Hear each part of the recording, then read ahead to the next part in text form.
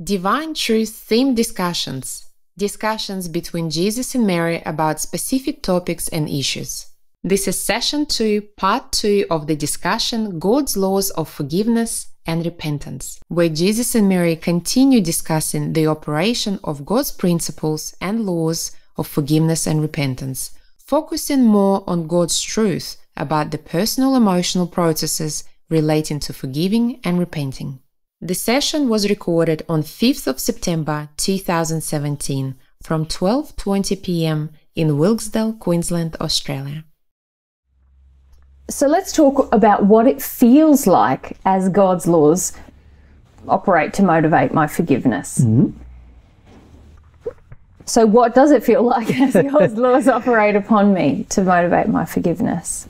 Well, firstly, let's look at the law of attraction, which is a mm-hmm. law that operates on me to help trigger me into having a desire to forgive. The law of attraction, because I now have this hurt within me that's now governing all of my choices and decisions, I will attract through the law of attraction a whole series of events that expose to me these this condition of my lack of forgiveness within me. Mm-hmm. Now, now, the more I engage or more I act upon my unhealed or hurt emotions, the more intensely the feedback mechanism becomes. It, it becomes so intense that almost my entire life is governed by these feedback feedback mechanism. So, so now we have that first aspect, God's law of attraction, operating to intensify this feeling inside of me that, uh, and so that I can recognize it and see that I need to release it. So that's great. That- That's a good thing.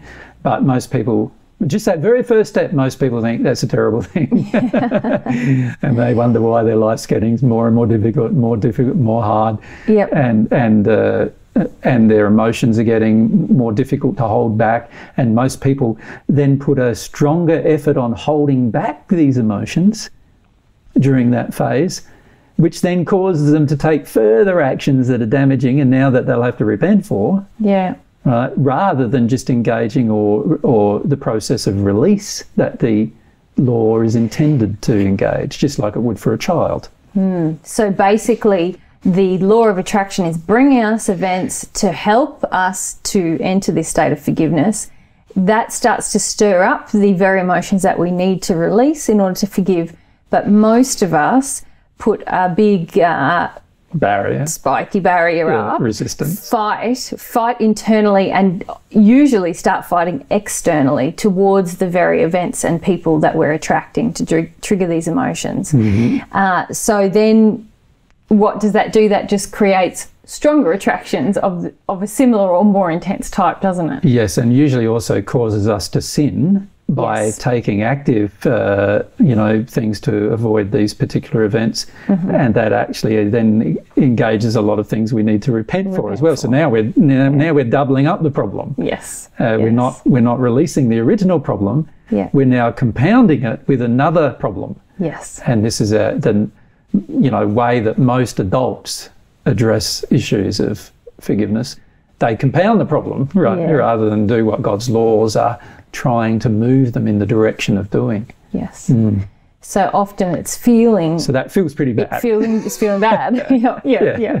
and it's going to feel bad emotionally, but also it feels bad physically. Like there will be because mm. of the emotions you're now storing in your uh, storing in your soul.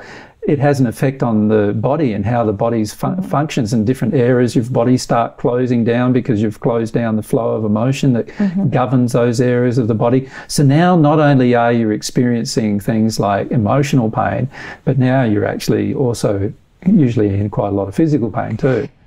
And it affects our face as well and our and everything you get this scowl on our face and our eyes narrow and, and like Yeah. literally Yeah, if you look Yeah. at people who have encountered a lot of hurt in their life and not released it very often they they if they're not actively angrily aggressive trying to fight um, Which most They- people are, let's face it. most people are but even if they're not they become very uh, like it's a, a physical expression of what's happening internally a lack of trust and a, a closing off towards others, isn't there? So it and a general affects us. closing off to life. Yes. And an experience of life, from a withdrawal yeah. from life. Yeah. Yeah, Unfortunately. Yeah. So that's So- partly how it feels.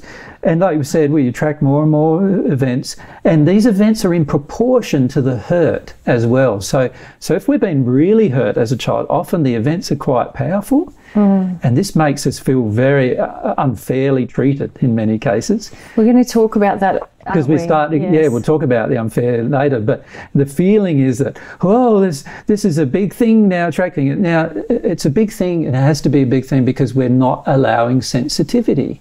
Mm-hmm. See, if we were sensitive, it just would require a tiny little thing, Mm. and we would just cry and release the emotion. But because we're choosing to not be sensitive, we now need a bigger thing and a bigger thing and a bigger thing to occur before we actually notice. It's the difference between somebody just going tap, tap, tap on your arm, Yeah. trying to get your attention, or somebody coming along with a brick and throwing at you to get your attention. You know, that, that's often the case. Because, because we're not sensitive to the Lord tapping us, we now are more resilient to the tap. We, we, we're more resistive to the tap. And so, unfortunately, now that we've, because of our own actions, the intensity must increase in order for us to take notice. So then, in our notes, we've got that it's proportional to the hurt that's within us. Mm-hmm. So big hurt creates big attraction. But from what you're saying there, it sounds though, though, if you're saying I could have a big hurt inside of me, but be quite sensitive, then I don't need a big attraction. Just a small attraction will help trigger the big hurt. So the big, the big attraction is Is- not necessarily the result of the hurt it's not the size of the hurt; it's the, the size, size of, of the our sensitivity resistance or resistance that Yes. causes the big attractions. Yeah. And this is what we need to come to understand in the end. So that's really what it's proportional to. I can have a little hurt, but end up with very, very resistance. painful uh, or big resistance, creating very, very big Events. Um, events. Yes. Or I could have a very big event that only requires like a small attraction A small, gentle If- attraction. if I've if I've remained sensitive or if I've worked on my sensitivity or these Yes. kinds of things. Yeah. Now, God always supplies the most gentlest, all the laws supply Mm-hmm. the most gentlest attraction, Yes. uh, always, yeah. that given our condition of resistance. Yeah. So if the, if the attraction is quite severe, then that's an indication that the level of resistance is quite severe. Yeah. Because all of God's laws only supply the enough enough event to get over the resistance Yes. to the emotion. So that's a very important thing to understand with regard to forgiveness too, is that if we're we, we could have a little thing to forgive, but be very resistive to doing it, which is going to create large attractions because of our level of resistance. Yeah. Yeah, if I think about that on a global scale, I find it quite uh, so, so, sobering, I suppose, given the level of uh, attractions that happen. There's some very extreme attractions that occur for a lot of people at the moment on the planet. There and, are. And if if I follow this logic, that means there's quite a lot of resistance. a huge amount of resistance on the planet to forgiveness and repentance at this stage. Yeah. And that's why the attractions are so intense. Yeah. If the if a if a person was like a, a child, like a very young child, who has very little resistance to their own emotional experience, um, most people on the planet would be cry. You'd see them crying every day, probably for a fair portion of the day initially, um, and they wouldn't be taking actions that further cause them problems. They wouldn't be taking actions for which they're going to have to in the future repent for. But unfortunately, most of us are very, very uh, afraid of emotion, and particularly very afraid of what we classify as painful emotion. And, and unfortunately, because of this fear, that generates a high level of resistance and therefore now a high level of intense law of attraction events that we are attracting to trigger that level of resistance and get us beyond the point and into a place of, of, sensitivity. And this reminds me, you've spoken about this at various times uh, about how those of us who are sort of attempting to engage with God's way of, you know, dealing with attractions, releasing past hurt, where you've spoken about our condition can improve somewhat. But then, obviously, if we're still in resistance and we're kind of putting up these attack kind of barriers against further hurt, feeling of further hurt, uh, resisting sensitivity, then we can actually do a lot of things that you say that we need to repent for, and our condition degrades. And then, so it's quite a it's quite a up and down journey. Well, yes, uh, it's only up and down, of course, because we refuse. It's all to Yes. do with refusal, disobedience, the desire to disobey. So God's one of God's laws about the soul is to obey the law of emotion, and that is motion needs to flow. Yeah. And so, whenever we disobey that uh, that law, we are bound to have consequences which are painful, mm-hmm. and those painful consequences can last a long time if we're not careful and we continue to engage that resistance to the law. And this is where it gets down. We we have a tendency to resist the law and therefore attract more events and in proportional to the to the new hurt now, mm-hmm. which is mm-hmm. the resistance that I'm now causing myself. So this is something I have to repent for in the long run, and uh, and unfortunately that is a, a you know part of the feelings that we have to go through Yeah. to get to the point where we now no longer want to resist. Yes. Now we normally have a lot of help to do that. You know, there's people in well, obviously all of God's laws are trying to help us to be sensitive for a start. But then there's people around us who love us and are kind. They're trying to help us see when you know we're not forgiven somebody, and are you sure you want to keep that kind of behaviour up and Yeah. uh, you haven't let go of this. You know, you, you're reminded by people who care about who care about you, and the spirits who care about you too. They, they will also be attempting to remind you. Your own conscience, as we'll talk about later, will remind you that you haven't you know, forgiven a person for whatever they did wrong. And so there's a lot of things going on externally to help you get beyond these particular emotions or feelings. But most people don't listen to them, unfortunately, and, Yeah. and continue the same behaviour. That is the behaviour of resistance, Yes. not wanting to be sensitive mm-hmm. to what's really going on, not wanting to have an awareness or any sensitivity to the emotion. Mm-hmm. Mm. Mm. Okay, so for the majority, we're, we're saying what it feels like as God's laws operate to motivate forgiveness. This is before we've got a motivation. So while while this operation is happening, it's going to probably feel at the very least uncomfortable, and Yes. th- there'll be pain involved because Of course, pain we're, is the we're in a resistive here. state. Yes. Anytime we're in a resistive state, we have pain, and the mm-hmm. pain is going to be across our entire life. It's mm-hmm. not. It's not just spiritual pain. It's mm-hmm. emotional pain. It's physical pain. It's all the different kinds of pain we can exist. uh, And if we allow it go on for too long, it turns into suffering, where we're now suffering from diseases and other things that are the result of holding on to these specific emotions. Yeah. So yeah, there's a, and and usually in this phase we're we're we're in this resistive turmoil, Yep. and we get so often embroiled in this resistive turmoil that we lose sight of why it's even occurring. Yeah. Even though there's um, God's angels, if you like, there's spirits in the spirit world who've been through this process who are trying to bring our attention to it. All of God's laws are trying to bring attention to it. Mm-hmm. And even yet, even still, we can still lose sight of why it's happening. And most people have no clue as to why it's happening, do they? No, no, and unfortunately they die with no clue to why it's happening, and their death is caused even by the by re- by the refusal to forgive or repent. Yeah. your, your physical death is created by the emotions that are caused by these particular events. And, and now you're in the spirit world in a place that matches your condition, still attempting to bring you to cognizance of the actual thing that's wrong, which is the refusal to feel, the lack of sensitivity to your true emotional state. Mm. mm. And often it takes people many years even then. Uh, and and it's a bit different in the spirit world. You you don't have the ability to uh, when you're in this state. Once you've exhausted your addictions, it's very very hard to now even engage addi- addictions. You have uh, hardly any strength left to engage your addictions anymore, and and that's what what are called the hells of the spirit world. And the hells of the spirit world exist primarily to bring a person to a state of recognition that they need to either forgive or repent. Mm. So for many, you know, they are in the hills still because they've chosen to not forgive. or they're in the hell still because they've chosen to not repent. So while these laws are operating upon us, then, and you mentioned when a person uh, enters the spirit world, they're still operating upon them. Yes.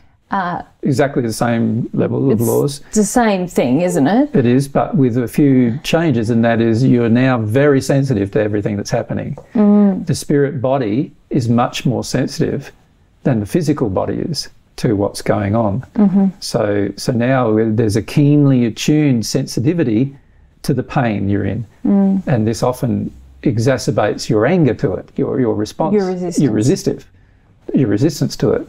And uh, unfortunately, that usually causes us to flare up. Once we arrive in the spirit world, we flare up in rage and anger more um, until we've gone through the, the feelings of resistance Yep. and then gotten to the point where we're now allowing ourselves to be sensitive to what the real underlying emotion is that we need to feel, the hurt that we experienced.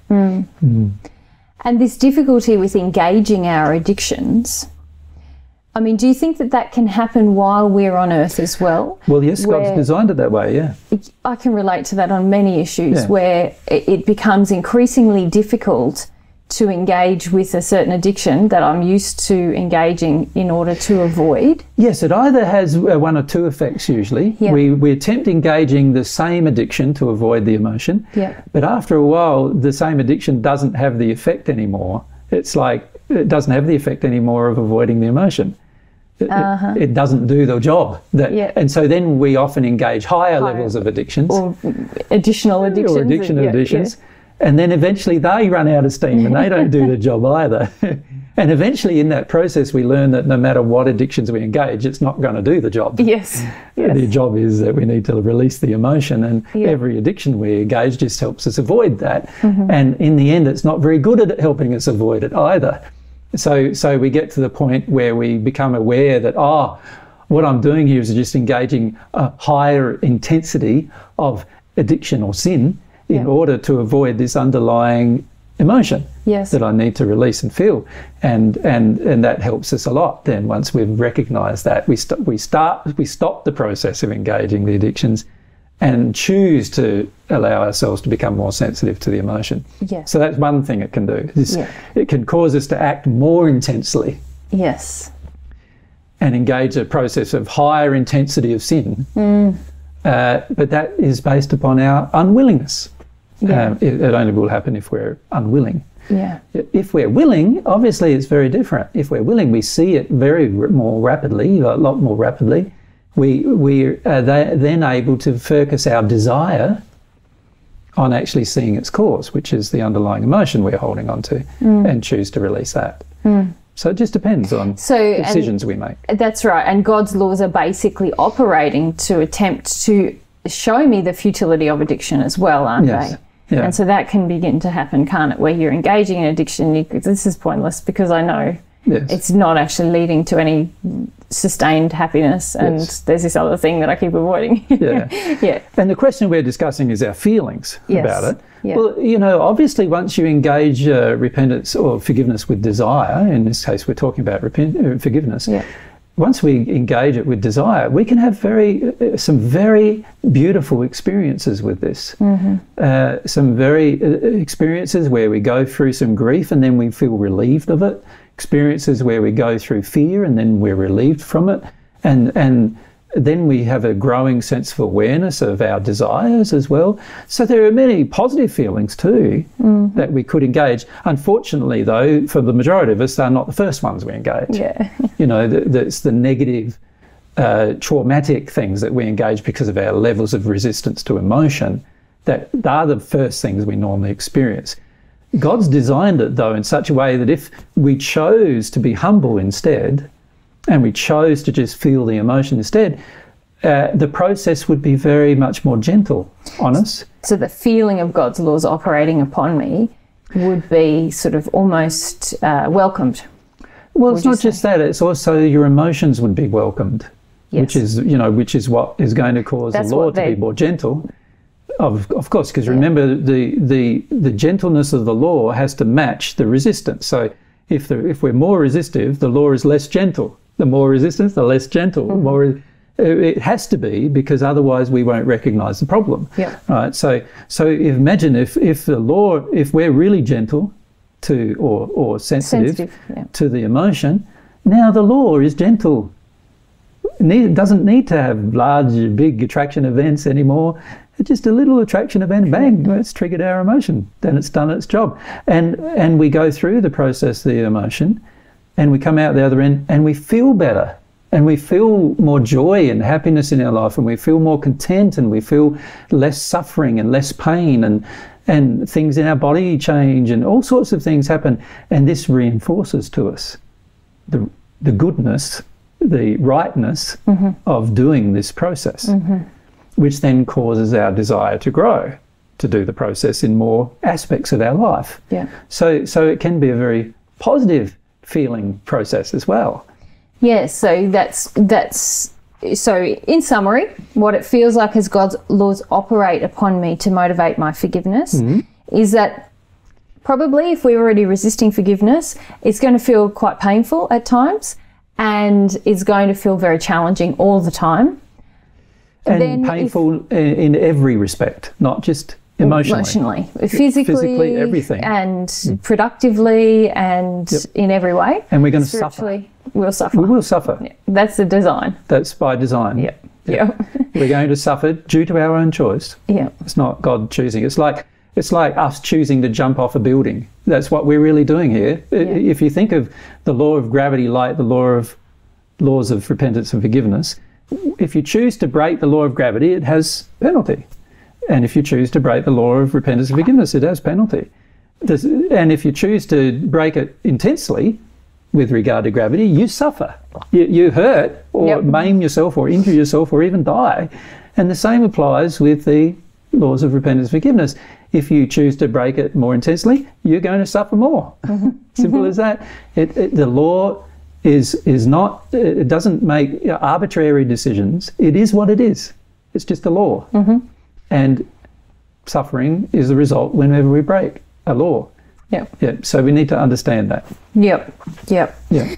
So we're going to suffer while we resist. Yes. And then, but lastly, you said that when and if we desire, our motivation starts to grow to actually forgive and engage forgiveness, then it can feel almost like we're working together with the law. We're, we're welcoming the Which operation of the law. We're saying, oh, thanks for bringing me that attraction. That's really where I'm wanting to head now. Yep. I can now get more insight and I can feel more about what happened. And, Yep. and so then we can start to feel actually more almost um, Hope. em- and hope and a sense of almost empowered in the process. so course, like, yeah. wow, I'm working I've together now- with God to I've now got deal with some this issue. personal control over my life. The law Yes. isn't the only thing controlling me anymore. Yes. I can now work in harmony with this law and get some results, some positive results. And not only that, when you do it, when you do actually forgive, the, there's huge positive benefits, not just at the end, but also during the process. Think benefits like I start to see what sin is. I start to recognize when people sin. I start to see what my response to specific sins are. Mm-hmm. I start to see what my addictions are. Mm-hmm. I start to see how I engage unloving behavior as a result of the things I don't forgive. Hmm. So, so I, I now have a lot more knowledge about myself. Well, yes, and also I start to have knowledge about what is me and what is just the hurt Within me. based sin that I've been holding on to that's not even my personality or nature. That's right. And you Or even I start. don't even like the things I thought I did. I'm just doing that to get other people's approval. It hurt me Exactly. this That's what I was stuff. about to say. You just basically have, you now start to recognize your pure desires Yes. rather than just acting only in your hurt, Yeah. which is a, which is a huge benefit to your life. So amazing. so, so the feelings range from terrible feelings of hatred, resentment, and other feelings such as that, Yeah. right the way through to beautiful feelings of joy and happiness, and my life's in control now, and I've got some hope for the future, and you feel quite positive, and you get more faith. So your feelings can can go from these very very negative, huge amounts of grief and pain and suffering and emotions and other things, and right the way through to these beautiful feelings of happiness in the process of forgiving. Yes. So it's And not, as the that's that's how it can feel that God's laws are operating upon me. yeah, yeah. So, so we need to see that that if we're in the process of pain and suffering, then we're yet to be uh, going through the process fully Yeah. into the process of the, the joyful outcomes and also the joyful processes of knowing yourself more and discovering more about yourself and discovering more about your desires. All of those things now become possible once you forgive and you no longer act in these unhealed emotional states either. So you're also now becoming a more sin free individual, mm. someone who perpetrates less damage and harm on the planet and to other people. And, and so there's so many positive benefits and feelings that come from that. So we mm. must emphasize that while there are a lot of feelings that are very hard to address, once we go through the process, there are also a lot of beautiful feelings that come about from forgiveness, mm-hmm. which not only are beautiful for ourselves, but also can be beautiful for others to experience. Mm. Mm. Mm. So before we move on from this point about what it feels like God's laws operating on me, there's a couple of things in our notes that we probably didn't get to cover correctly. Hmm. So I'll just read some of them to you mm-hmm. and then perhaps you can explain Sure. what it's all about. Yeah, sure. Okay. So you mentioned that people who are kind to me will point out to me and attempt to assist me to release the emotions I have inside me of hurt. Yes, and if they're truly kind Yep. and truly knowledgeable, they will be focused on the truth, God's truth about the matter. They won't be focused on belittling you about it or any of those kind of things. They'll be truly kind. You know, they they they are trying to help you feel happier. That's how you know whether a person is being truly kind or not. If mm-hmm. they're trying to help you become happier. Now, some of them might not know what the underlying cause is of the problem Yep. but they'll at least be able to see that you definitely haven't forgiven a person, for example. Yeah. Right? But but others who are more advanced than you, they'll be able to tell you what the cause of the problem is too, and mm-hmm. they'll be able to help you also release that cause um, through talking to you about it firstly and helping you become aware. Of course, they can't actually release the emotion, mm-hmm. but they can uh, help you become aware that the emotion is there and that you need to do something about it. Hmm. Hmm. Hmm.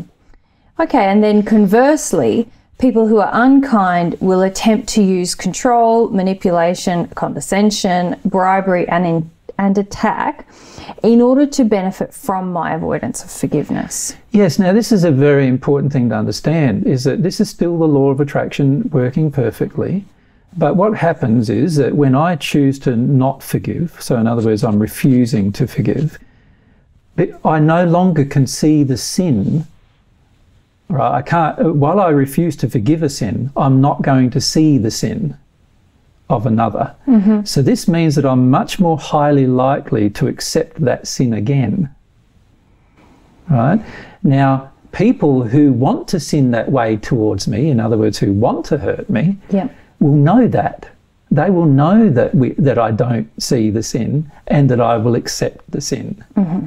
And so they will engage in behaviour that continues to perpetrate further sin Yep. towards me. So, so by choosing to not forgive, I'm really choosing to allow more people to hurt me the same way hmm. that other people have already hurt me. Hmm. Because I remain open to them treating me in the same way. Yes, So- but it is a law of attraction event too. It's there, this event occurs to show us that, whoa, I've still got this injury because I still keep getting the same kind of people treating me the same kind of way. Hmm. Right? And this is a very informative thing for you. Yeah. Because once you know that, oh, wow, not only did my mother treat me that way, but now every woman that I meet treats me that way. Hmm. Or, wow, not only did my father treat me that way, but every woman I meet now treats, or every father, every man I meet now treats me that way. Yeah. And that gives us an indication of, oh, maybe, because they're all different people, maybe there's something constant in me mm-hmm. that causes them to think they can treat me this way. Hmm. Now, I'm not saying that them treating that you that way is God's you know, reward for you having that problem within yourself in the first place. But every person who's unkind will make will take advantage of your injuries. And this is what people do. They take advantage of your injuries if you choose to not forgive. So then, can I just clarify about that? Mm-hmm. Because this question was a lot about, well, it is how it feels, Feels. how it feels for me as the laws are operating upon me, and I'd just like to understand the difference between. I think I grasp your point, but just to make it crystal clear, you're talking about the actions and behaviour of people there, so the kind people and the unkind people. What the kind people will do and what the unkind people will do. Yep. Now, I understand that my soul, the design of my soul, the very nature of my soul is governed by law. And so the things that I'm sensitive to and not sensitive to is dependent on what emotions I want to be sensitive to and not sensitive to. So the treatment of others that I'm sensitive to and not sensitive to uh, is governed by those those laws. Now you're confusing me. Well, I don't to get the- it. I don't get it. If you get to the question, what's the question? The question is how is the individual will of people and their decisions how is that related to God's laws operating upon me? Emotions are transmitted between people. You know that. Yes. So, so if I have an emotion where I will accept a certain emotion from you, you will have a higher intensity if you have an intention to deliver that emotion to me. You'll have a higher desire to do it because you'll know you'll get away with it. And that's just a normal consequence of the flow of emotion. In other words, if I'm if I'm open, it's, it, it, maybe it's a great way. This is a great way of putting it. If I've got a cup and it's empty, and I put a lid on it, and you try to pour water in it, the water's not going to go in the cup. Yeah. But if I open the lid of the cup and then let you pour water in it, water will go in the cup. Mm-hmm. Right? Now, let's say that water is emotion. Let's say it's an unloving one. Yep. If I've got a lid on it, no matter you try, you might try to pour it in, but it's never going to go in. So you're not going to get the satisfaction of it going in, are you? Yeah, I get that. right? But I take the lid off, and now you will get the satisfaction of the emotion going into me. And that will give you some kind of feedback mechanism. It'll make you feel better, usually. It makes you feel like, oh, you've accomplished your goal. Yeah. Abusive people want to accomplish their goal. Yes. And what their goal is usually to make us feel something. Yes. Right now, if I'm blo- if I if I do not receive their abuse, right, then they won't feel like they've accomplished their goal, mm-hmm. and it's highly likely they'll go off and do it. Some try to do it somewhere else Yep. because they know with me they won't accomplish the goal. Yep. Does it make sense?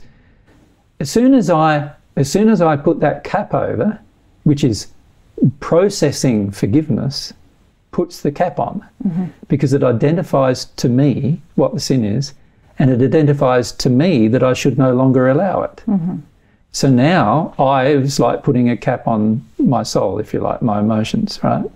What I what I'll allow to enter. What I will allow to enter me. Yeah. People who are unkind take advantage of other people. They take advantage of your injuries. If they know you will allow something, they will do what you uh, will allow. Yeah. right?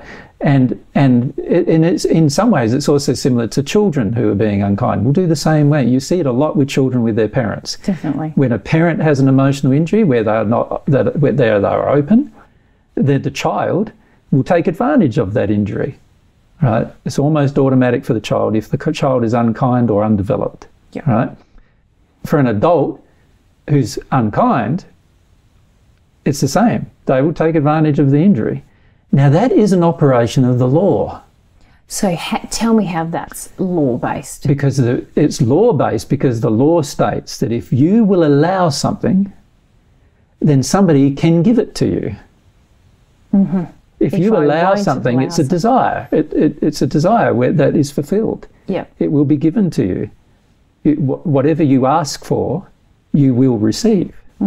So if I'm asking to be treated badly, I will be treated badly mm-hmm. by somebody mm-hmm. Right? And the only place where that won't be possible is if I was way up in the celestial sphere somewhere, right? I was in the, I was completely perfected in love. Then, of course, I would never have a feeling of wanting to be treated badly anyway. Mm. But let's say that I was living there in that place. Mm. I won't be treated badly by anybody who's who's a good person. Mm-hmm. But I still attract people who are bad people treating me badly. In when I'm in the celestial heavens. Well, no, no, I'm using just an example of in the heavens, I see. right? In the celestial heavens, as I said, I'm no longer open to being treated badly, and nobody will treat me badly in the celestial heavens. But I can go down to the hells and somebody might try, but it's impossible for them because I'm not open to it. Right? Yep. Now, the same principle applies on earth. You can't be treated badly and feel badly about it unless there's an openness mm-hmm. to feeling badly about it. Yeah. Right? And that's an operation of the law. Yes. Thank you. That's In other words, if I close down the aspect of, you know, close down my openness to something, to some bad treatment, then it's highly likely that I'll be treated badly less. Mm. Right? And that's the case with all of God's laws. Mm. And and that's the law in operation. So so the beauty of this law operating in this way is is is manifold, but let's look at one of the reasons why it's a very good thing. One reason is that you can live in a terrible environment and still get an attraction that shows you you need to forgive. in a terrible environment. Yes. Wouldn't you receive a lot of things that would show you that you need to forgive if you live in a terrible environment? Of course. Yeah. And that's what I'm saying. You can live in a terrible environment and still know you have to forgive. You can see most see, people believe that if they live in a kind environment, that's when you know you have to forgive. But I'm saying no. The reality is sooner or later it will come to your attention, even in the most worst environment imaginable, that at some point you're going to have to forgive. Yeah, I guess I'm laughing because I, I find it's more pronounced to me in environments. I live in a very kind environment living with you. And at times it's easy for me to skip over the fact that I need to forgive things because there's not many people in my day to day life treating me that badly. No, but it is easier to forgive things in this environment. It is definitely easier. Yes. Yes. But my awareness. because the, because the people around you, me uh, primarily, is going. I'm supporting you. Go forgive- for it. I'm, Yeah, yeah, I'm yeah, supporting yeah. you. Forgive. I'm supporting the process of emotional processing yes. And working your way through and forgiving. Yeah. Whereas you might be living in another environment where they're not supporting it. Yes. But what I'm saying is, in another environment where they're not supporting it, you still are going to become aware that you need to forgive yes. because of the way the law operates, you'll realize the damage to yourself Mm. that occurs Yeah. by not forgiving. Yes. Right? And that's immaterial to the environment.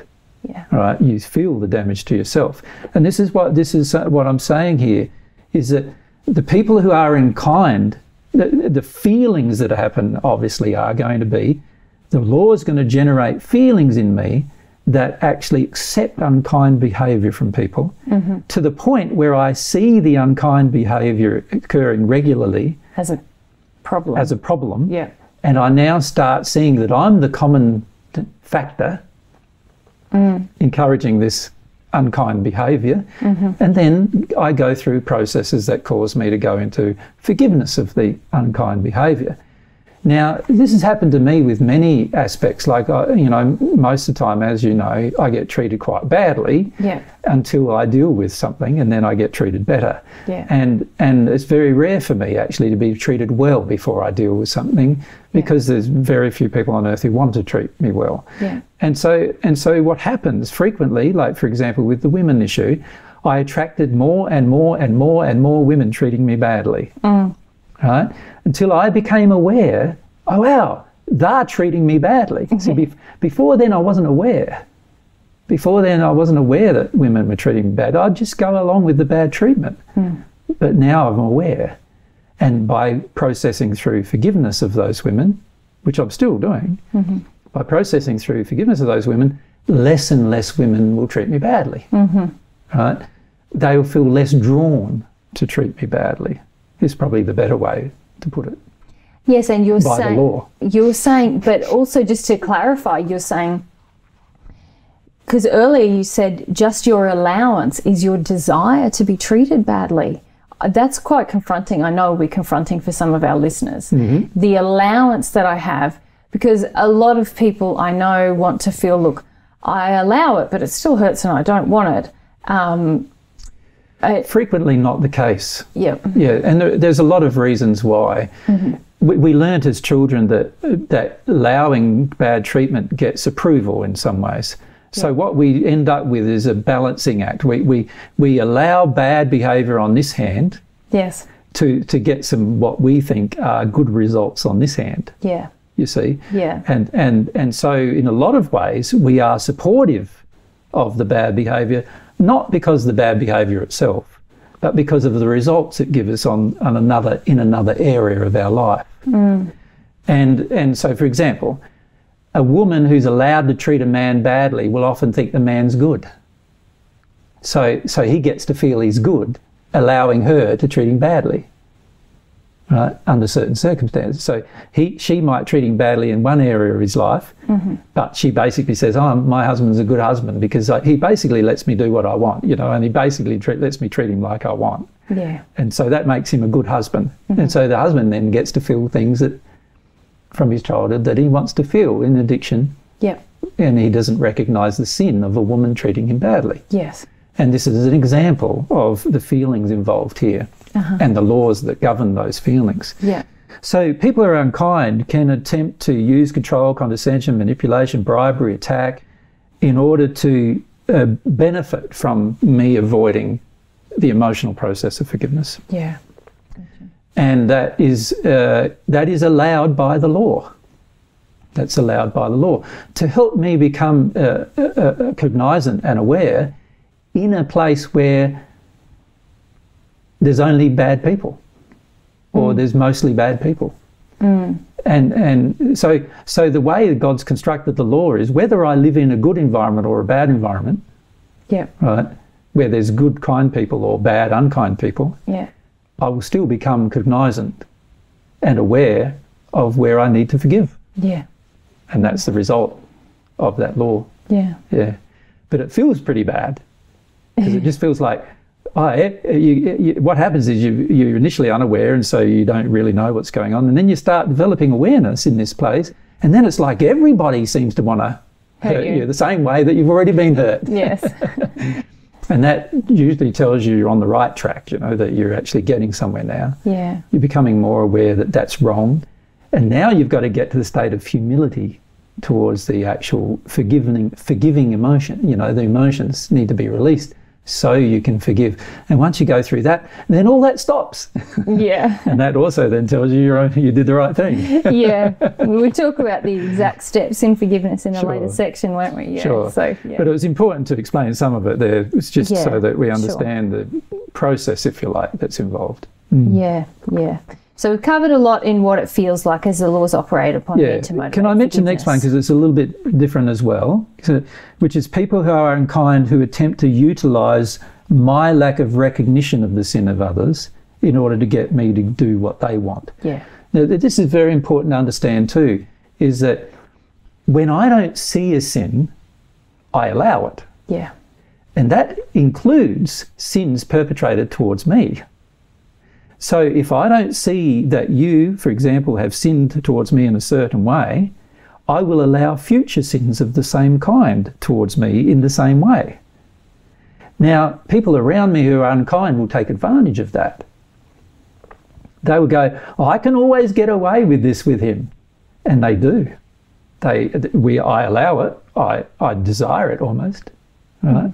Because of my condition, I'm allowing it, and they get away with it every time. Every time they get away with it every time, and this is to help enlighten me, to help me see, wow, this is happening all the time, and these people are taking advantage of it. And how unkind is it for them to take advantage of me hmm. having this injury? It's very unkind. And that then makes me more sensitive to how sad I feel about that. And then I will hopefully go through the process of forgiveness, hmm. where I let go of that emotion of how sad I am about being attacked for having a weakness, right, that other people take advantage of. And once I've come out of that, I again will no longer, I will notice every single person who's trying to take advantage of me. Mm. Which is fantastic because now you can make decisions. You can It's say, so good. Hey, you get sensitive to everything. mm, Yeah. yeah, I find that perhaps the hardest part for me uh, in many areas, becoming in what way? um, of recognizing the sin against myself. Yeah, because it quite, it feels quite sad, doesn't it? Yeah, yeah. There's a lot of sadness involved. in Well, what creates that resistance to recognizing the sin against myself? Because sometimes I think it's my resistance to the sadness, but sometimes it's literally beyond, like, um, for example, I have the benefit of you or other people around me who are kind. You say, Didn't you notice this thing? Or what I notice is about the way that people have treated you or what you do with people. And, and I think, I don't even, I just thought that's normal. Well, this is the thing: is that if we don't forgive, whatever we don't forgive, we will believe is normal. That's right. But in this process of forgiveness and the laws operating upon us, you're saying we have to move initially through a process of realizing on the way to forgiveness, we have to realize, hey, that's not normal. Correct. And it's a, t- from what I've experienced thus far, it's an intellectual but crucially emotional process of coming to recognize that something is And, let's sin. say it's not normal. It's not right. It's not. It's not so much. it's not loving. Yeah, you know, because it, because it, you know normalcy on the earth is very very different to normalcy from God's perspective. So so yes, we initially feel that it's okay. yeah, That that that is what we expect. Mm-hmm. And and we it's standard it's behavior. standard behaviour of treatment of Yes. us personally is how we see it. Yeah. And then after a while we go, hang on a sec. Even though it might even be, even though every person on this planet's doing it, it's not right. It shouldn't. It's not normal. It's not God's definition of normal. And this is what I had to go through in the first century. Every person on ever, that I ever met treated me badly, and and it was very very difficult to go through this process of coming and, and actually working my way through this feelings of forgiving everybody for their bad treatment of me, recognizing the sin in every action, and yet forgiving it. So sometimes I think, um, say for, for you in the first century, having a relationship with God established from a young age can assist you to feel God's feelings about things, which makes you infinitely more sensitive to, to what is loving and what is not. Like just bam, Well, yeah. straight away. When we talk about the conscience in a few sessions' time, I forget Yeah. which. I think it's two sessions' Two- time. We're depends planning. on how long we it go. takes. but um, you'll see that you know how how this mechanism that God has of communicating truth with you, if you're sensitive, can be very very helpful in Mm. engaging forgiveness and repentance. Mm. Mm. All right, I'll leave. I'll leave mm. what I was going to raise there till then. I think that's probably the best. Yeah. Yeah. yeah. So, Okay, so when it comes to the feelings, we can see, wow, they're pretty, you know, there- there's a lot of pretty complex feelings there, isn't there, in the process of forgiveness, really, and of the operation of, of the law of on the, the, law feelings. getting us to a point of wanting to forgive. Yeah, There's quite a lot of yeah. emotion. So, you know, this, what it feels like as God's laws operate on us is what we're focusing on. And wow, you know, it, it can feel very unfair sometimes, uh, particularly, it's always fair, of course, but, Yeah. but it feels unfair. yeah. Um, uh, everything God does is just, but it feels often unjust. And this is where we get stuck. We often start feeling it's unjust, and then we start getting resentful or hateful, and then we start acting in ways that are unloving, and then that perpetrates further damage to ourselves and others. And that's that's an area of life that I feel that many of us get stuck in. And and so it's really important, I feel, for people to see, well, yes, God's laws are operating, and this is where you know at, times I've had to go through and feel like, wow, you know, it just feels feeling really unjust at the moment, and you've got to let yourself feel that too. You know how unjust it is, and and and how how unjust it feels to to go through this processes. It's not unjust, and it's not it's not what you feel at the end, mm. but but going through it, it can feel that way. But humility demands that we go through those feelings and still complete the process. Yeah, but it is it's sometimes difficult, and this is what we wanted to say to people. It can be difficult, but the results are outstanding. You know, they're, they're incredible results if you're willing to engage the difficult process. So let's let's move on now uh, to speeding up the process of forgiveness. So in our last section, we talked a lot about how God's laws sort of operate upon us mm-hmm. to en- to motivate us to create a motivation to actually engage with forgiveness. Mm. And in a way, it sort of sounds like, or it could be, it could sound as if God's laws sort of do all the work to get us to become motivated to forgive. Well, they do in a lot of ways, don't they? But, yeah. Yeah, it's Particularly bearing in mind that most of the time at the beginning we're very resistive to the thing. You don't want to. Yeah. Uh, what about though if if I can see right now that there's issues in my life that I need to forgive, but I'm resisting them? yeah. Are there things I can do to speed up that process of forgiveness or to to help to generate a motivation to like a sincere motivation to forgive within myself? What kinds of things can I do? It's a, it's a good question, isn't it? Well, uh, as you know through your own experience, Mary, you, you know that um, everything to do with a lack of motivation is due to resistance. And everything to do with a lack of desire is due to resistance. And everything to do with not doing something is due to resistance, right? And whether that resistance be angry resistance or fear based resistance or you know, belief systems or other things, and we'll talk about what they potentially are. But but generally, the principle of speeding up your process is this: get rid of your resistance. so, so am I right to define uh, for our listeners resistance as a lack of desire? So it's a desire in the opposite direction, would you say? yeah, or a lack of desire. But yes. but even a lack of desire is really just a desire in the opposite direction. Yeah. All lack of desire, lack of motivation, you know, uh, all comes from underlying resistances like fear and anger and other things like that. So. Yeah.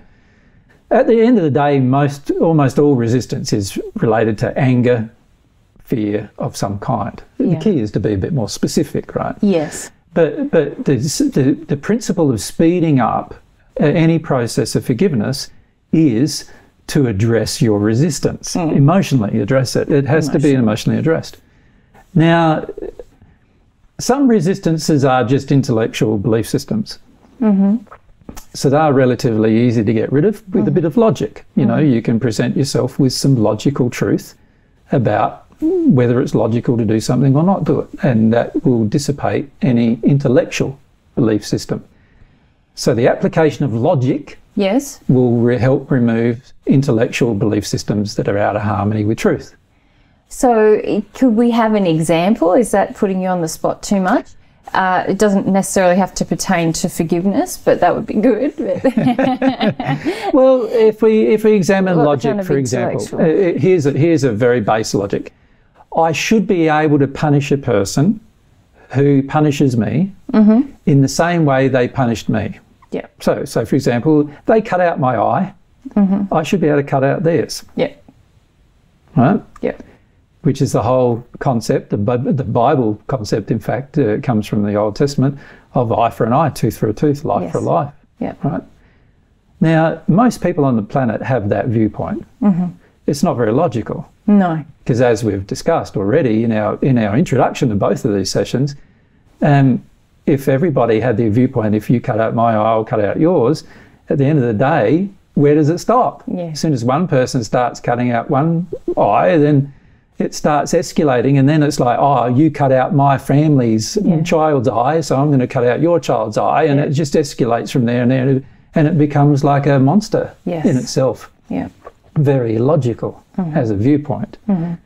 It's emotionally satisfying mm-hmm. in the addiction of having these, of having it, having rage satisfied, but it's not logical.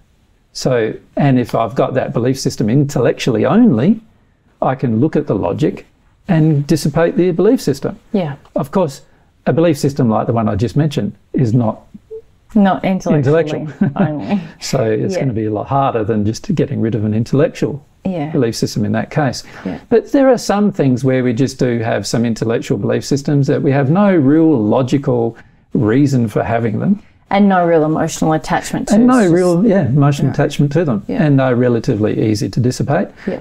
but they can cause resistance Yep. so for example an intellectual belief system that i'm scared of my emotions Yeah. now you may not be scared of your emotions hmm. you may have just been you know you may now just have an intellectual belief system come from observation not from your own emotion Yes. you may actually be quite happy to feel your own emotion Yeah. but you just may have a system, belief system that goes, oh, other people are not that happy with feeling emotions, and maybe feeling emotions is bad, and so I avoid it. Yeah. Telling yourself some logic about emotion will help mitigate that. Mm-hmm. Now, of course, uh, most of our belief systems are not just intellectual, as Yeah. I've pointed out, they're emotional. Yeah. And getting rid of emotional belief systems is where a lot of our resistance lies. Uh-huh. Now, an emotional belief system is did God really create this process of forgiveness and repentance? Mm, is it real? Is it real? Is it actually going to benefit me to feel all that Does hurt? it, does it work? Yeah. I don't believe it does. Yeah. You know, I've never seen anybody do it. Mm-hmm. And most of us have probably never seen anybody do it our entire life. Yeah.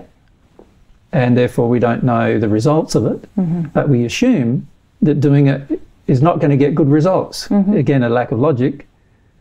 Just because nobody's ever done it and nobody's ever had good results because they haven't done it, Yeah. it doesn't mean that doing it is, is not going to give me Good result. good results. but this is the way we think, right, and Yeah. feel. Getting rid of the emotional belief systems is a bit more difficult, a lot more difficult because they're emotional. And if I have some basic underlying beliefs about emotions that are faulty, I probably am not going to get rid of the belief systems. Hmm. But they cause resistance hmm. to repentance and forgiveness. And God's laws are going to try to expose that. Now, w- this question was all about resistance and speeding up the process. Yeah. Obviously, if I purposefully get rid of my resistances Yeah. Or purposefully attempt to ignore as much as possible of my resistances, Mm. that's going to help me. Ignore as much. Of my yeah, yeah. In other words, I do that? what I mean by that is your resistances scream at you. Yes. They do. They tell you you've got to go and do this. You've Yeah. got to go and do it. You know. Yeah. That's what your resistances do. You'll never survive if It's you. the end of the it's no- world yeah. This if is what your resistance tell you. Ignore it. Yeah. That, that's just a little fear voice in the background screaming at you. That's all that is. Yeah. You can ignore it Yes. and still act in harmony with some faith and some, Mm. and the truth that you've heard. yeah. Of course, eventually you need to process through why that little voice is screaming at you because that's an emotional belief system that needs to be released. Yeah. But there's also some belief systems about should you listen to your fear? Should you listen to your anger? These are belief systems that you can confront. Yeah. You shouldn't listen to your fear or your anger if you really want to progress, mm-hmm. right? They just stop you from progressing. So stop listening to them, stop believing them, feel them. Yeah. There's a difference between feeling them and believing them, right? Yeah. you need to stop accepting the premise of these screaming voices in your background mm-hmm. telling you that doing the good thing is a bad thing. Yes, because while we accept the premise of the negative of the fear-based emotion, Mm-hmm. we ex- we live in it. Yes. We accept its messages, and and that emotion And we act upon it. we act upon it, and that emotion is never released from us because we're we're actually acting in harmony with it. We have to act in opposition with fear in Exactly. order for it to come out of us. So, Exactly. in order to remove the emotional resistance, you're saying we have to ignore what it's saying to us, act in disharmony with it, And and in that process, the emotional resistance will leave us. Well, no, we need to choose to feel the emotion before will release, release from us. Obviously, we need to do that. Right? Yeah. But if there's a voice in the background saying, don't feel it, don't feel it, you say, hello, you, I'm feeling it. right? Yes. Even though I feel scared about feeling it, whatever, I'm just still going to choose to feel it. Yeah. right? We can make choices like that. We're capable of making choices like that. We don't have to listen to the screaming negative voices in the background screaming at us that something that's good is bad. Mm-hmm. Like, we need to see the logic. If something is good, such as forgiving, is a good thing. Yeah. Anybody who would ever hear about the principle of forgiveness would say it's a good thing to forgive somebody, Yeah. right? Then why do we think there's going to be bad consequences for doing good things all the time? Yeah. There's got to be a problem with that screaming voice who believes that in the background, right? Yeah. So, so with a lot of our emotional belief systems, the way we need to treat them is that we are going to feel them. We are not going to listen to them. we are going to feel them, Yeah. not listen to them. That's it. That's it. Yeah. And and Yeah. And the trouble is that for most people is they listen to them Yeah. and don't feel them. They do the opposite. Yes. They do the opposite. They Yeah. they they listen to all of their emotional belief systems, and then they choose to not feel their cause, Yeah. not feel why they're there. Mm-hmm. Right. So we need to do the opposite of that if we're truly going to progress. Now, th- the question was about speeding up the process. Well, you can see that if you choose to listen to your false belief systems, whether they're emotional or intellectual, then you're going to slow down your progress. Mm. Right, you can see that quite Mm-hmm. clearly. So obviously, if you want to speed up your progress, you do the opposite of that. You choose to no longer listen, but feel your emotional belief systems Yeah. and your intellectual belief systems. Yeah. So these are two things that you can do Mm-hmm. that will greatly assist Yeah. the process and speed up your process. Speed up. Yep. So, okay, do you want, let's have a look at some of the other Sure, things that sure. we listed. Um, so we are going to one of the re- things that creates resistance to this process of forgiveness is pressure from others that's who support me to remain unforgiving since they're in a similar situation to me. So Yes. So here, let's say an example of that might be like you're a woman and you've you, you know your man's been you know yelling at you mm-hmm. all day or a few days, and and so you go and talk to all the other women, and they say yeah he's a bastard and he's terrible and you should leave him and you don't forgive him, yes. you leave him right. That's the that's the answer. You you you. You get You rid of him. punish him in you punish him out of your life. Now, Yeah. now, why are they saying all these things? It's because They are personally resistive to forgiveness. Exactly, and they want you to do that. Yes. they support you doing that. Yes. now, so then the question becomes, what do we do with that kind of resistance? Yes. because uh, this kind of resistance hurt, hurts us. It, it tells us that we shouldn't forgive. And it's it's so incredibly prevalent, not just with women, but with Oh, men, men and, and different societal groups Yeah, against it makes each no other. difference. It's, It- it's everywhere. Yeah. It's pervasive throughout human Yes. society. This Yeah. whole looking for agreement, commiseration. commiserating with a lack of forgiveness, Mm-hmm. looking for agreement to not forgive from the rest of society. You know, you and I have seen recently a thing where a, a woman had forgiven a man for raping her, yes, and and all of the other women who had not been raped, by the way, yes, told her that she'd done the wrong thing. yes. She was doing a dangerous thing, and Exactly. and, And they were even angry with her yes, in order to force her back into a position that they're in. yeah. Now, now, what do you do with associates like that? Well, you don't have them as associates. Exactly. You've got to at some point choose to no longer have commiserative associates who who agree with you doing the wrong thing all the time. Yeah, You need to spend your time with people who think you should be doing the right thing instead. yeah, Now that is a choice too. Mm-hmm. Just like the other was a choice to ignore your false belief emotions and Yeah. screaming background, uh, you Yes. know, voices in your head. yeah, A choice to ignore them or follow them.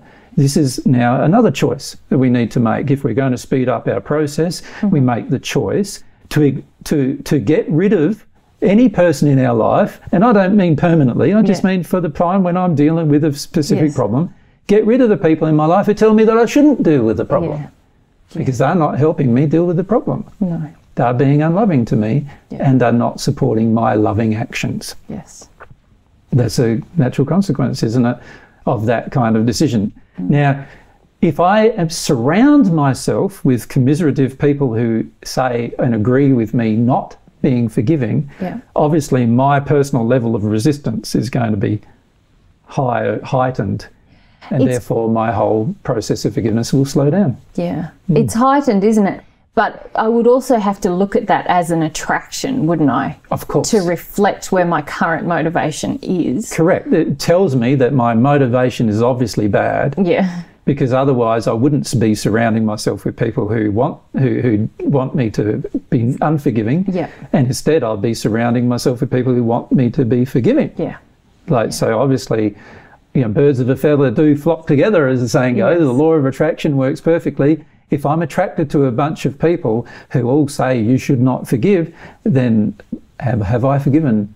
Or Do I really, am I sincere about this well, that, that's a question I need to ask. Yeah. However, if you're the first person who's ever forgiven somebody for something, or a very unusual person who has forgiven somebody for something, you are automatically surrounded Yeah. by pretty much everybody around you who disagrees with your action. Yeah. And that being the case, you would have to know that you're doing the right thing Yeah. and you'd have to hold on to the morality and ethics of doing the right thing, Yes. even if everyone around you disagrees. Yeah. Yeah. Yeah. So, in the But- case of this woman on the panel getting Yes. attacked for forgiving her rapist, her, you know, she's she's engaged the process through her teaching, Mm-hmm. uh, and and the attack of the other women is unwarranted and Mm-hmm. unjustified, and also not very uh, kind or loving Yeah. to to her. Nor does it bespoke any kind of uh, awareness on their part. Mm-hmm. Um, and so she would have to recognise the truth of all that Yeah. and stay firm to her decision. Yeah. So really, a part of this is um, not only initially it's becoming aware of our associates and their attitude towards forgiveness and recognizing And if they're supportive, if they're supportive or not of forgiveness. And if I want to grow in my motivation to forgive, I'm certainly going to stop heeding the the uh, influences and the advice of people who have no sincere desire to forgive. certainly. And and if a person's supportive, we need to see the truth, and that truth is they themselves are unwilling to forgive that same thing. Yeah. If they're supportive of my lack of forgiveness, you mean? Yes. They themselves are uh, unwilling to forgive in the same thing. Yeah. So so we need to see the truth Yes. that that they are demonstrating their own unwillingness Yes. by supporting me in mine. Yeah. Right. Yeah. Now, if you want to surround yourself with people who are unwilling to deal with something that is good, Mm-hmm. to actually become good people, then my suggestion to you is that you've got a problem of obviously feeling like you don't really want to become good either. Yeah. And that's something that needs to be addressed, obviously, Yeah. if you truly want to speed up the process of forgiving. Yes. Mm. All right, let's look at another kind of pressure then. Mm. So we can encounter pressures f- from other people wanting me to remain unforgiving because basically when I'm unforgiving, I keep allowing their terrible treatment of me Yes. or other people. t- I, I don't, something I commonly notice is that I don't upset the apple cart in the family or the, by, there can be a lot of pressure to not expose a problem, say, uh, from a mother not wanting her daughter to expose a problem with the father because because it'll uh, interfere with the whole dynamic of the way the family is running right now and she doesn't want that to change so she's pressuring me to not actually confront the hurt that was done and so on So, in other words, people around you benefit from you staying in your state you're in, Yeah. the unloving state you're in. yeah And these are all obviously unkind people as well. Yeah. Who, if they benefit personally, it's not a real benefit. It's a, Yeah. it's a feeling that they benefit. yeah Um, and if they are taking advantage of you being in an unloving state, Mm. Then obviously they're not very nice people in the first place, and and that needs to be addressed. It happens regularly with families, of course, Mm. where one person starts to upset the apple cart, as the saying goes, and all of a sudden everyone in the family is attacking them because none of them want that person to change. Because what that person does is support a whole heap of unloving behaviour occurring in the family. And by to- going through the process of forgiving, they'll recognise its unloving behaviour, they'll no longer support it, and therefore they'll be in disagreement with it. And that's going to cause a lot of problems down the track for the other people. That's what they think. that's what they think Obviously, not true. yeah Because obviously, any improvement in love is going to improve the love in the family, but that's not how people see it. People in error wish to fight for their error. Hmm. And, and people who want to manipulate you want you to allow yourself to be manipulated. Mm-hmm. And so they will put that pressure on you. Mm. Mm. It's an interesting paradox, isn't it? Or a seeming paradox.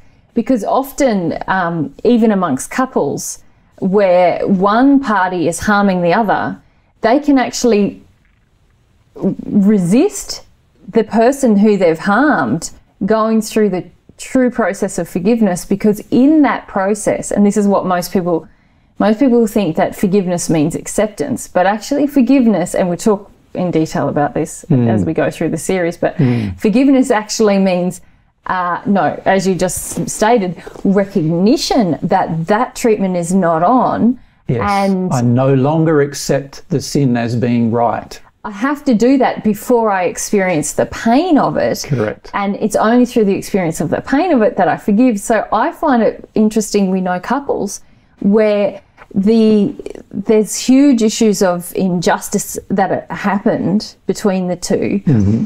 and yet they actively oppose each other going through the process of forgiving the other. Usually, one wants to engage it more than the other, and the other one is fighting them, even though the person who's been harmed going through that process of releasing that harm will mean they actually love the person more but they don't want to confront their own sin which will happen if that person no longer accepts that treatment. They'll be more confronted with their sin. So they don't want that to happen. So they actually oppose people forgiving them. Yes, yes, and uh, and there's many reasons for that. You know, one reason, of course, is that when you forgive somebody, you do recognise their sin, and for the other person who did the sin, that's very confronting. Yeah. Because uh, because now what they thought they could get away with, they're now seeing the other person won't let them get away with mm. anymore. So that's a very confronting thing to put that person through, you see. And Yeah. and what we've found in many cases is that a couple will come, we'll have a discussion with a couple, we'll point out the injuries of each towards the other, and in the end, both of those that couple, instead of going through any of their injuries, they'll just get angry with me for mm. pointing them out after they asked. Yeah. And and and many of them have stayed angry with me. and Some of them have even died angry uh, with me as a result of just one couple session yes. where you know just an informal thing where people ask, "Oh, what do you think's going on here or there?" And uh, and pointing out a sin when you don't accept it has a very powerful effect on people.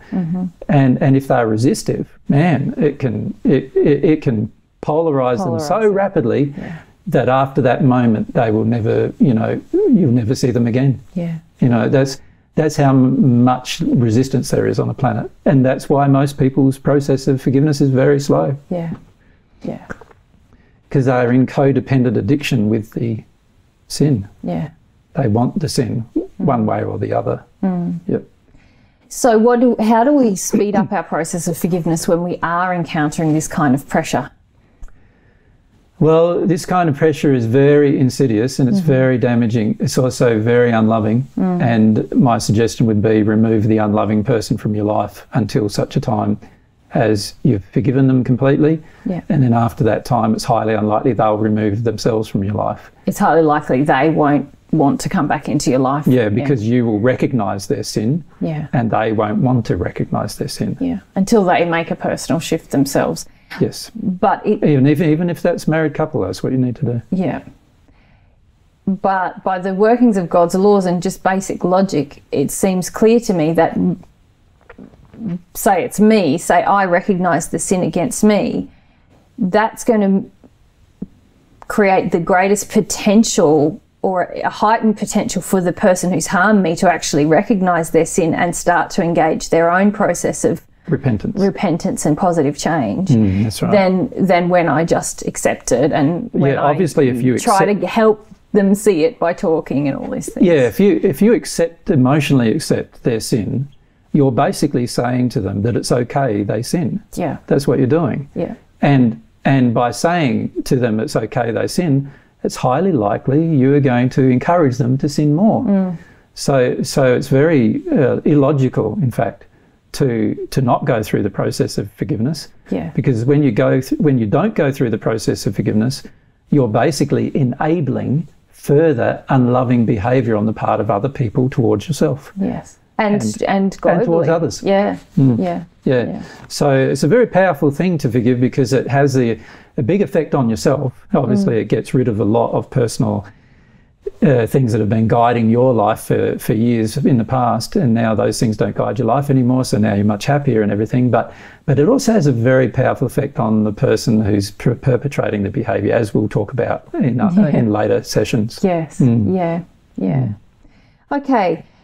Uh, third type of pressure we've got listed here is spirit pressure. Yes. So people who've already passed mm-hmm. and they have a similar level of resistance to a certain issue where they've been harmed in a similar way to, to which I have been. Mm-hmm. They don't want to do it. Mm-hmm. Uh, then they don't want me to do it because me doing it's going to confront their their potential to do it and Well, it, again, it fits into the two behaviours, doesn't it? Either they're supporting me or they're liking it that I yeah that I don't. don't forgive. Yes. Um, you know, they could be supporting or commiserating with me not forgiving, or they could be supporting me because they actually benefit personally from Yes. me not forgiving. So it's exactly the same as people on earth, really. But it's important to point out the influence because a lot of people don't realize a lot of the vo- the things that pop into their head, you know, the thoughts that pop in their head about, you know, that generate a lack of faith about the process of Yeah. forgiveness that that are not true, things that are not true, not God's truth about forgiveness,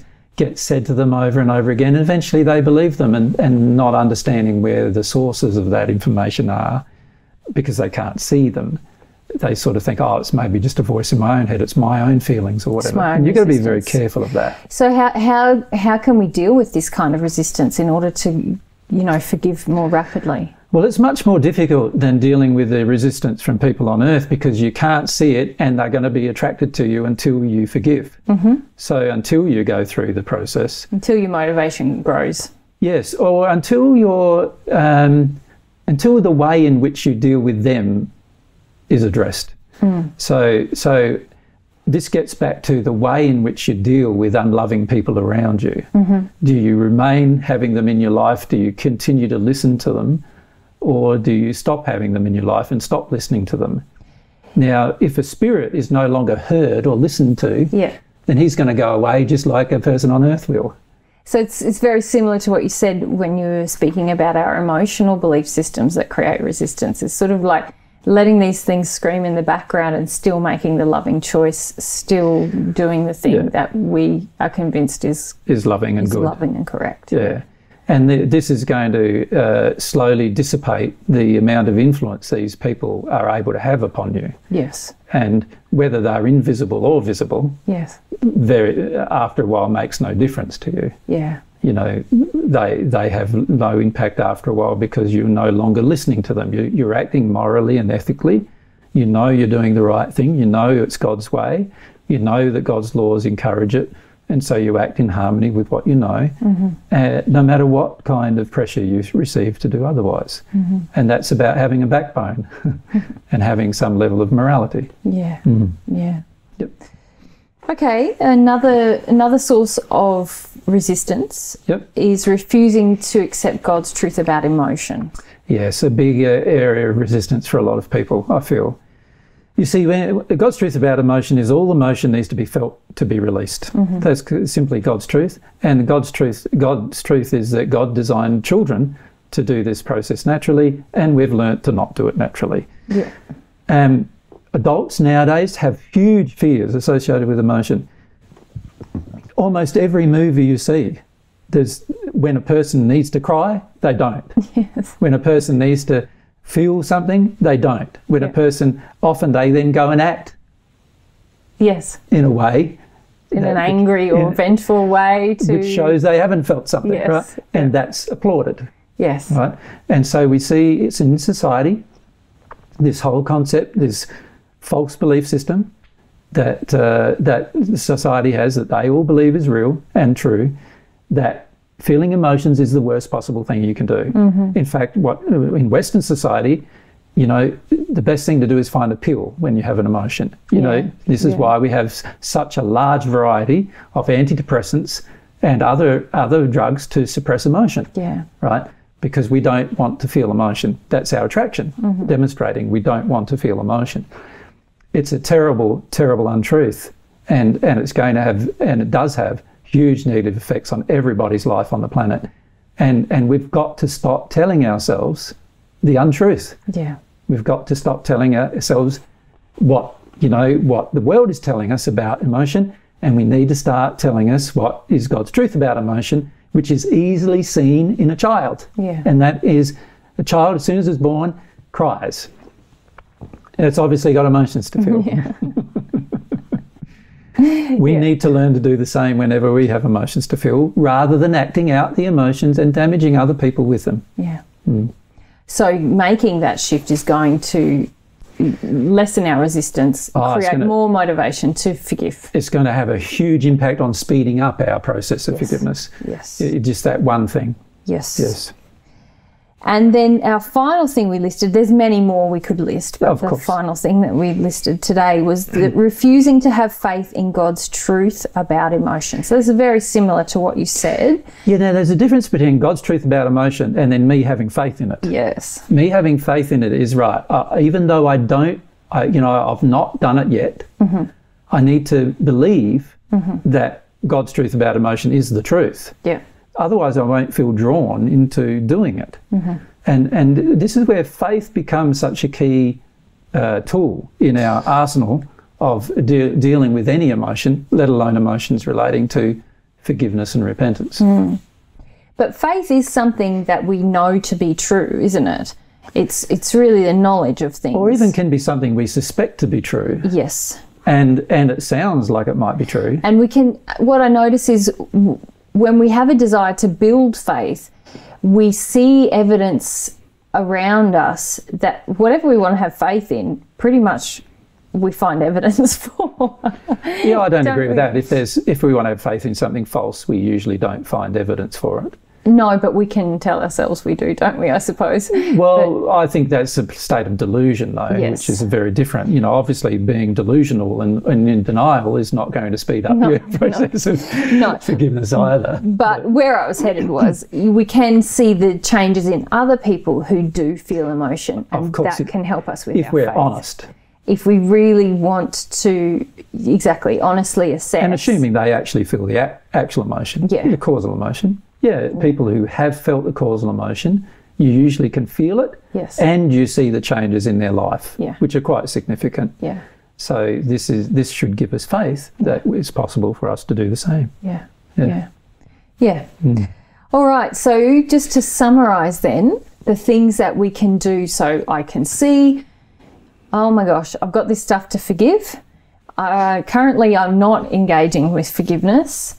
I'm not sure that I really have a strong motivation to, but I can see it would be a good way to go. Um, what can I do? Get rid of your resistance Yes. to forgiveness. So It doesn't matter. We can list. uh, There's more than what we've listed, and I don't even think we need to worry about listing them. yeah, The main thing to remember is if if I am not forgiving, Mm-hmm. then I am in a state where I'm resistant to forgiving. yep, I need to, if I want to speed up the process of forgiveness and receive the benefits of Mm-hmm. forgiveness, I need to get rid of my resistances. yes. I need to sit down and make a, my own list. Of what? Why? Why am Why resisting? am I resisting? What, Why what don't are, I What are to? all my Yeah. beliefs? What are you know? What are what are my Yeah. associates telling me? Yeah. All these things. I need to just make my own list. Yes. All listing all of my resistances to forgiveness, because if I don't do that, then I'm going to be very slow forgiving. And in fact, I'll be I'll be grudgingly mm-hmm. drawn through the compensatory effects of the law of compensation, which we'll talk about. I think it's in the next discussion or two Next, next two, discussion, Two, now. two time from now, Yeah. we'll be able to see how the law of compensation will work. And if we're grudging, it's going to have a long, laborious, very, very painful, and a lot of pain and suffering process where eventually we forgive anyway. Yeah. So, what's the point of going through a long, drawn out, long winded, pain, painful process that causes us to suffer for years and years and years when we could just get rid of some resistances and go through the process in a year or two? Yeah. like, Absolutely. Where There's there's no con- no contest really there. no, not really. If we're thinking logical, Yeah. it makes sense Yeah. to stop the grudging process and and start looking at all the resistances we have that cause us to have a begrudging process Yeah. and do it with desire. Yeah. Hmm. Yeah. Absolutely. Fantastic.